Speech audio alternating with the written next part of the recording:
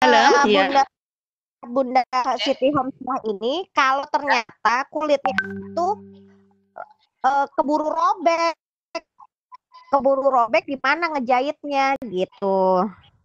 Ya, dijahitnya itu setelah terisi adonan, Bu. Gitu. Jadi terisi Oh, jadi adonan, apa-apa. nanti kan Apa? robek nggak apa-apa. Oh, nggak apa-apa, isi adonan. Apa? Oke oke. Nanti Heeh. ada sisa-sisa adonan itu yang bisa digunakan untuk menutup.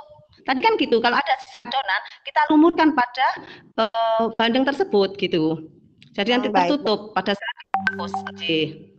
Jadi nggak nggak bermasalah ya walaupun robek di awal ya. Apa-apa, nggak Oh. apa-apa.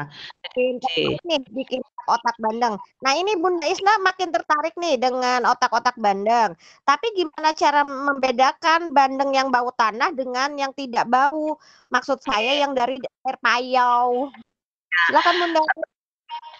Biasanya Bu, eh, dari insang kita cium itu kalau bau tanah itu tampak. Jadi eh, bau lumpur itu anu apa terasa gitu. Jadi kalau ambil bandeng insangnya yang merah, kemudian kita cium. Kalau kita cium bau lumpur itu nggak bagus untuk, untuk buat otak-otak. Waktu mencarinya ya tidak bau bau lumpur tadi. Dicium melalui insangnya. Jadi lewat insangnya bandeng tersebut. Oh jadi diciumnya lewat insangnya. Insang. Tampak Ah. itu. Kalau yang dia itu eh, apa di lumpur itu hitam. Hitam gitu loh, campur. Tapi kalau yang di air payau itu merah sekali dan tidak bau tanah. Gitu. Yang yang bagus yang bagus yang mana untuk bikin otak-otak bandeng? Yang air payau atau yang bau tanah? Ya, air payau. Jadi dia tidak bau tanah, rasanya gurih gitu. Lebih legit nanti kalau bercampur dengan adonan daripada bumbu otak-otak tersebut. Baik. Ini ada pertanyaan dari Bunda Anggun nih. Bunda Anggun kayaknya juga tertarik bikin otak-otak. Bumbunya apa aja ya buat bandeng istimewa? Sama Ibu. PT-nya Oke. dibuka bentar, ya. Ketumbar, bawang putih, bawang merah, kemiri yang disangrai Bunda, lengkuas, gula pasir dan garam secukupnya. Biasanya kan setiap orang itu eh, rasa itu berbeda, ada yang suka asin, ada yang suka agak manis. Jadi rasa itu tergantung pada masing-masing individu yang menginginkan tadi gitu. oh, Kalau mungkin eh, santang kentalnya agak dibanyakin, itu lebih gurih nantinya. Oh, jadi makin Berarti- banyak kentalnya makin sih, makin lama semakin kukusnya makin awet. Ya. Ah, oke. Nah, Baik. Nah, sekarang gini Bunda, ada pertanyaan lagi nih dari Bunda Ayu. Nah, kalau ternyata salah memilih bandeng, bandengnya ternyata bandeng tanah, yang berbau tanah. Nah, supaya nggak bau tanah gimana tuh? Ada tipsnya nggak? eh, biasanya itu bu, eh, bumbunya agak dibanyakin. Jadi Oh. yang eh, tadi bawang putih, bawang putih itu kan penyedap bu. Jadi Oh, di, agak ya. dibanyakin ya, bawang merahnya gitu. Tapi bawang putih itu semakin eh, anu apa banyak itu semakin gurih, semakin eh, kita berani untuk menambah bumbu, masakan itu akan semakin eh, apa sedap gitu loh Bu, semakin rasanya lebih enak gitu. Jadi nggak bermasalah ya, walaupun kita salah membeli bandeng bukan bandeng air payau, tapi ternyata bandeng berbau tanah, ternyata bisa disiasati dengan eh, menggunakan bumbu yang banyak begitu ya, apalagi bawang putihnya begitu ya. Ya. Baik, sekarang pertanyaan berikutnya nih dari Bunda Isna, eh, berapa lama otak-otak ini bisa bertahan, Bun? Eh, otak-otak saya bilang kalau semakin lama dikukus dia semakin eh, apa tahan lama. Jadi kukusnya minimal 15, tapi kalau semakin lama bisa satu jam itu dua hari itu eh, di, di, di terbuka ini masih bertahan. Tapi kalau me- memang ingin agak lama, jadi otak-otak itu bisa disimpan di lemari es itu satu minggu gitu. Oh, baik. Nah, sekarang pertanyaan berikutnya sambil menunggu pertanyaan Bapak Ibu nih. Ayo Bapak Ibu silahkan bertanya siapa tahu kita bisa punya usaha bikin otak-otak bandeng. Sambil menunggu nih Bun, misalnya kalau isi dari bandengnya pengen pakai seafood misalnya, boleh nggak tuh? Dimodifikasi. Ah, dimodifikasi. Boleh nggak tuh? itu kan selera masing-masing bun, tidak apa-apa. Jadi uh, kalau saya kalau pingin pingin lebih anu, tidak pakai uh, kelapa yang kita parut, kita sarenda. Jadi saya pingin itu semua bumbu ini saya rebus, saya kasih uh, santan, saya biasanya gunakan dua alternatif, dua dua resep. Jadi yang pertama yang tadi sudah saya paparkan, yang kedua itu biasanya saya uh, santan yang kental saya campur dengan bumbu, saya masak sampai benar-benar kering, baru saya blender, saya campurkan dengan ikan bunda gitu. Sama resepnya sama enak sih. Uh, apa isinya itu tergantung um, apa selera ya. Pokok. Uh, ya kita fitting itu kan nanti selera kita kita mau modifikasi dengan rasa apa yang kita inginkan itu uh, sesuai dengan kita modifikasinya. Lalu tapi ini kan kalau saya makan otak-otak bandeng jadi daging murni oh, dari bandeng tersebut. Oh gitu. Tapi e, kebayang ya Bun ya kalau usaha rumahan sih kalau satu dua bikinnya e, ya. gampang ya. Nah yang jadi pertanyaan ya. ini Pak Didin nih ada nggak ya mesin buat bikin otak-otak biar prosesnya lebih cepat dan nggak manual. Barangkali ya ada yang pengen buka usaha gitu Bun. Selama ini memang manual Ibu. Jadi gini, kalau kalau sudah terbiasa dalam satu jam itu bisa mengeluarkan bandeng tuh lima enam bunda. Kalau sudah sudah lihai dia, oh, oh, oh, itu. Hmm. Jadi pertama kali memang kita takut sobek lah, takut cara mengeluarkan uh, uh, uh, dari apa duri itu kita takut. Kalau sudah terbiasa bunda dalam satu jam tuh bisa lima enam bandeng bisa kita guna apa kita keluarkan dagingnya Oh gitu ya. Jadi itu mah karena proses ketampilan tangan. Jadi makin kita sering dengan bandengnya ya makin cepet ya nggak jadi nggak usah pakai mesin nih Pak Didin ya Pak Didin tapi kalau Pak Didin mau coba bikin mesinnya kayaknya jadi peluang usaha juga ya,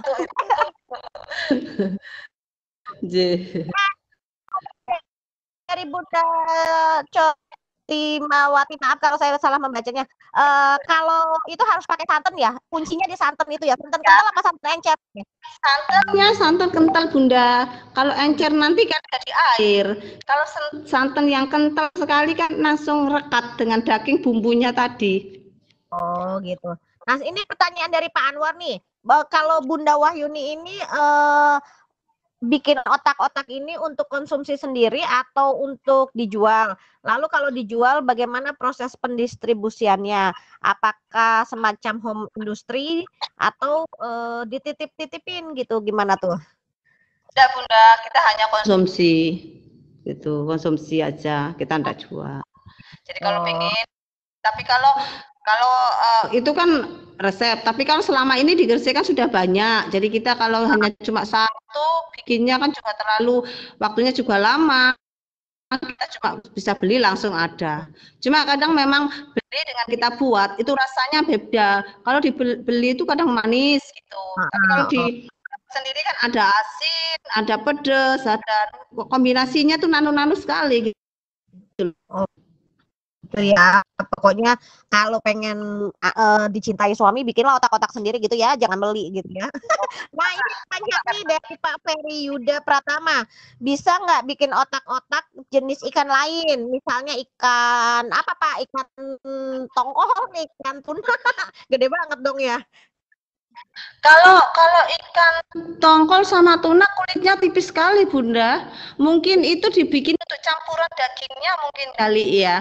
Tapi kalau tekstur untuk uh, kulit bandeng itu tebel dan apa ya tipis tapi dia kuat gitu loh.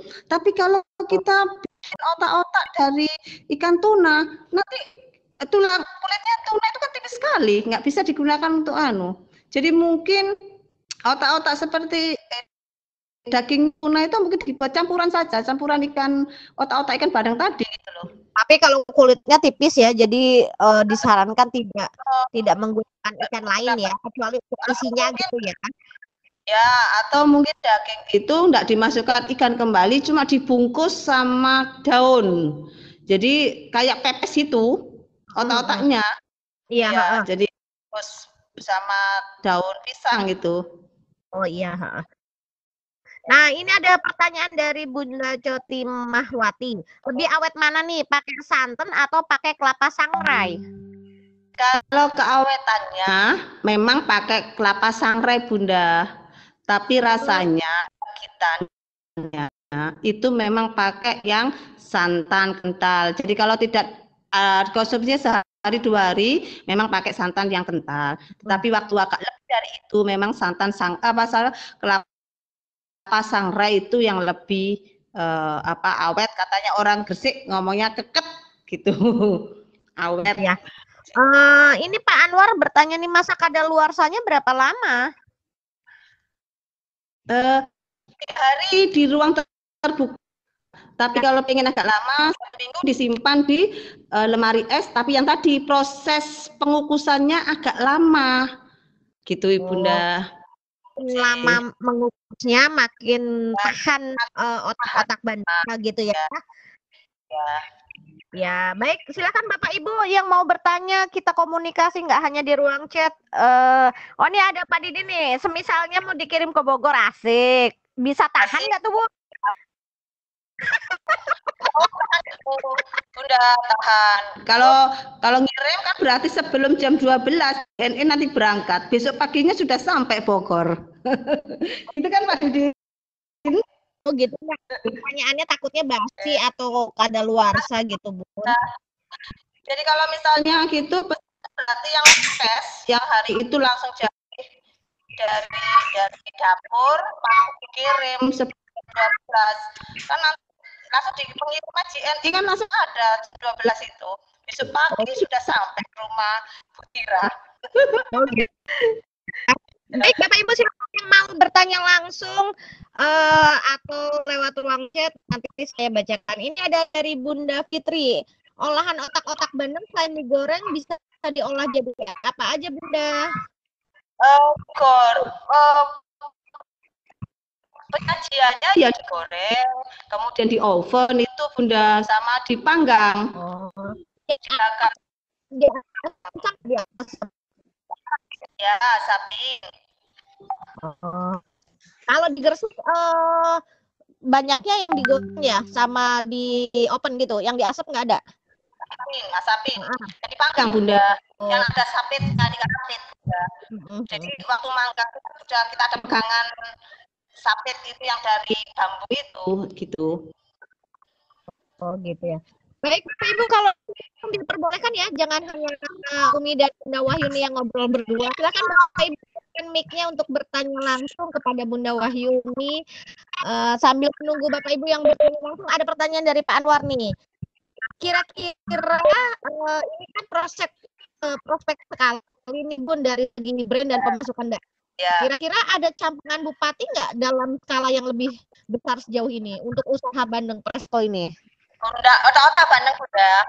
Uh, uh, uh, dari dari pihak dinas pariwisata Bunda itu biasanya nanti memang ada kuliner khas Gresik yang namanya uh, di situ badokan Gresik jadi ada namanya badokan Gresik itu di sana itu memaparkan makanan-makanan khas Gresik uh, apa termasuk otak-otak itu Bunda Oh gitu.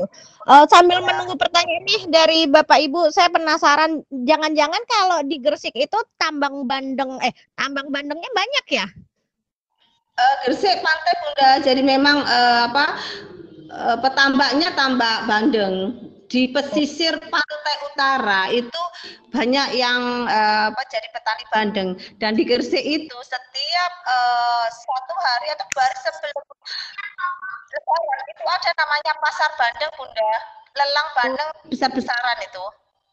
Oh gitu, gitu. ya. Oh jadi memang karena dekat pantai jadi masyarakat memanfaatkan pantai itu untuk uh, apa uh, mengol apa men, ini makan bandeng gitu ya. Ya. Nah, ada dari Bunda kok kotak misalnya dibuat kotak-kotak Nah. Halo, suaranya? Halo ya Bunda. Apa bisa kotak ikan lele? Ya, otak-otak bandeng. Nah, namanya otak-otak bandeng yang jadi ya kaki bandeng Bunda. Kalau lele itu kan juga kulitnya kan sangat tipis sekali. Mungkin lele kan dibuat campuran aja mungkin untuk untuk modifikasi rasa. Gitu. Oh, gitu. Oh, sambil mau pertanyaan Ibu semua nih, saya penasaran. Bunda tahu nggak kira-kira sejarah orang Gresik bikin bandeng pres eh bandeng presto ban otak-otak bandeng itu gimana sih? Tiba Gresik punya pas otak-otak sepanjang jalan yang namanya Kroman, Sindujoyo itu ada sentra uh, sentra uh, pembuat makanan khas Gresik yang termasuk otak-otak Bandeng. Jadi di sana itu uh, ada toko yang terkenal nama Muzayana, Mujana, kemudian apa itu uh, itu itu pokoknya banyak makna itu perajin-perajin ini penghasil otak-otak Gresik. Jadi semuanya itu yang di pasar banyak toko-toko penjual ini otak-otak Bukan enggak maksud saya sejarah Gresik itu bikin otak-otak dulunya seperti apa sih Bunda? Kalau Bunda tahu misalnya?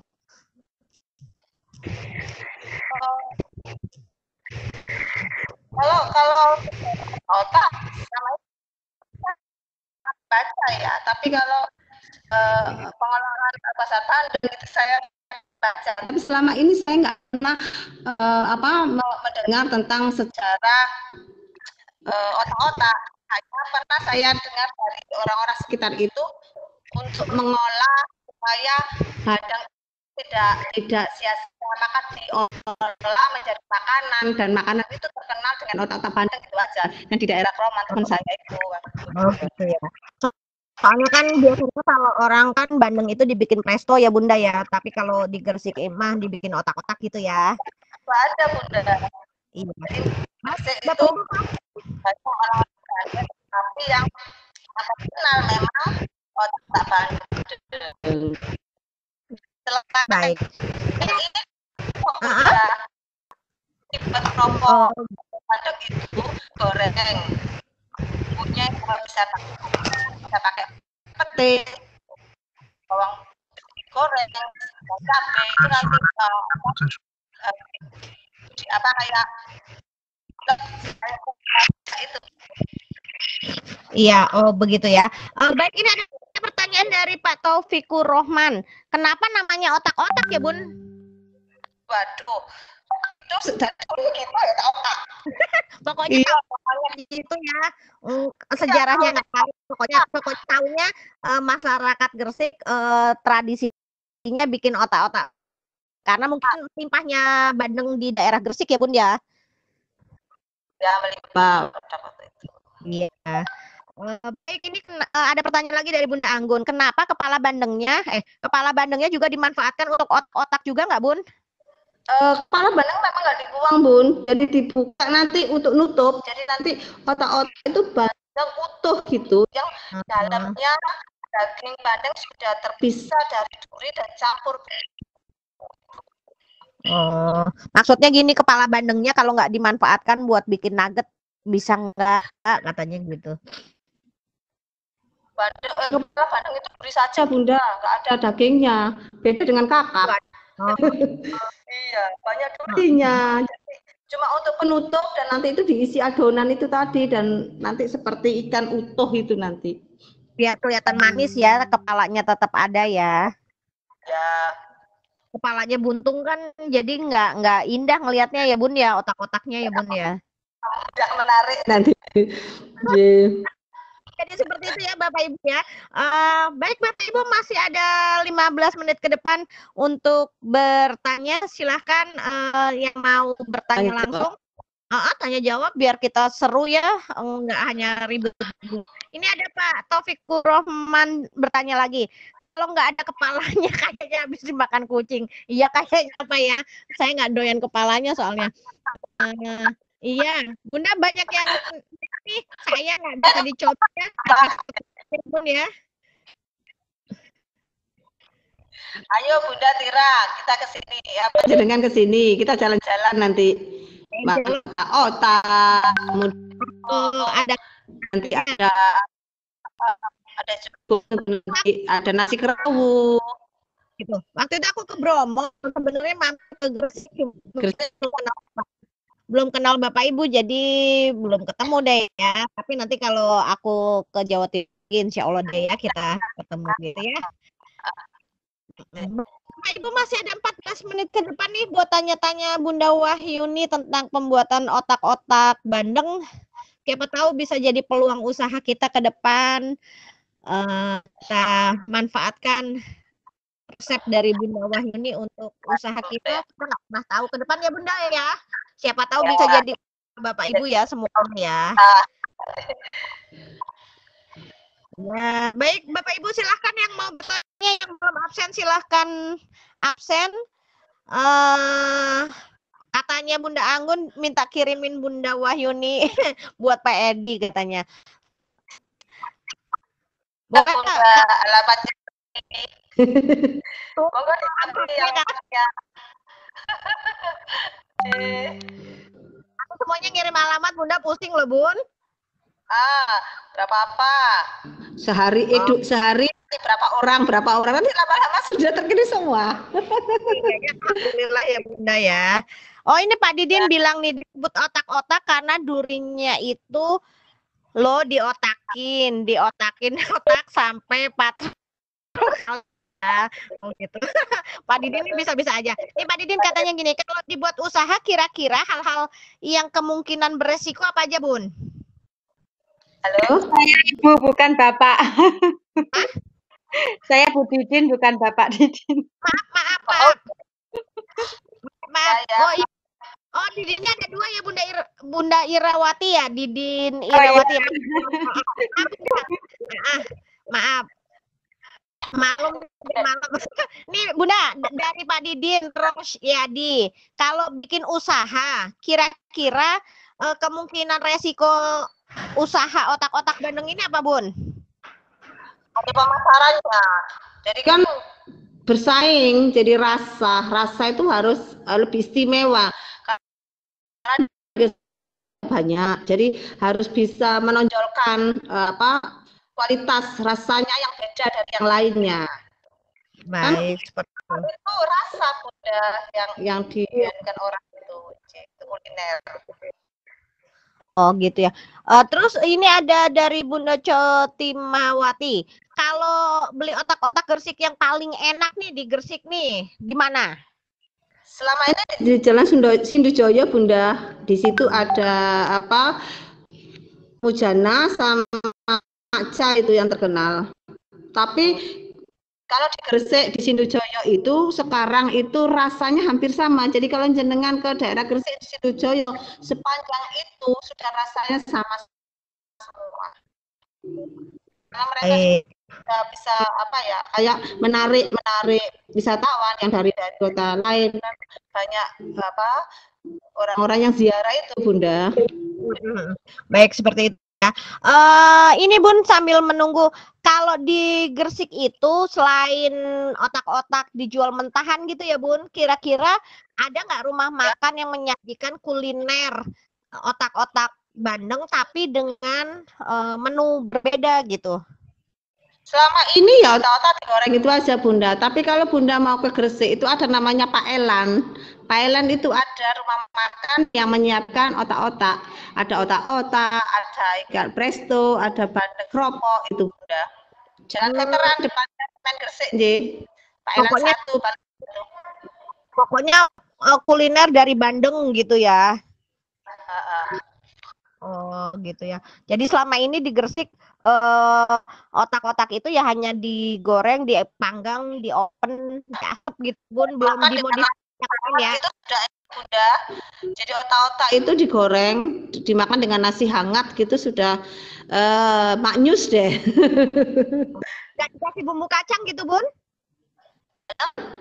kalau kalau dikasih cocolan kasih cocolan itu itu kan selera bunda oh, jadi gitu. ada cocolan sambal kecap gitu itu kan oh. selera bunda selera ya. Nah soalnya kalau di Bogor otak-otak itu makannya pakai sambal kacang tuh bun. Cocok itu ya. Selama iya. ini ya itu hanya di itu aja dimakan dengan nasi hangat itu sudah sudah enak gitu. Baik. Baik Bapak Ibu masih ada 20 menit ke depan yang masih mau bertanya. Kalau tidak ada mungkin Bunda kesimpulan dari diskusi kita malam ini Bun? Oke uh, agar kita bisa melestarikan uh, budaya kita, kita uh, belajar mencintai, kemudian kita mengenalkan kuliner ini kepada keluarga, kepada sahabat, kepada saudara-saudara kita, supaya uh, lestari selamanya. Makasih Bunda Tira. Baik, uh, demikian presentasi dari Bunda Wahyuni. Karena nggak ada yang lagi bertanya, uh, saya kembalikan kepada hostnya Bunda Siti, silahkan. Terima kasih Bunda Umi Tira Lestari dan juga Bunda Wahyuni. Luar biasa diskusi kita malam ini ya. Alhamdulillah sesi sesi 10 malam ini telah selesai dengan pertanyaan yang luar biasa dari para peserta dan juga dan juga Ibunda Umi Tira Lestari selaku moderator contoh bagi kita semuanya ini bagi para peserta terutama kami yang pemula. Yang selanjutnya saya serahkan saya selaku host Apabila ada kekurangan mohon maaf dan saya serahkan kepada Bapak Ibu instruktur. Saya akhiri wassalamualaikum warahmatullahi wabarakatuh. Waalaikumsalam warahmatullahi wabarakatuh.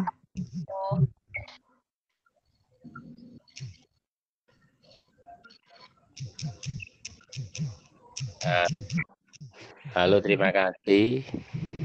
Tes.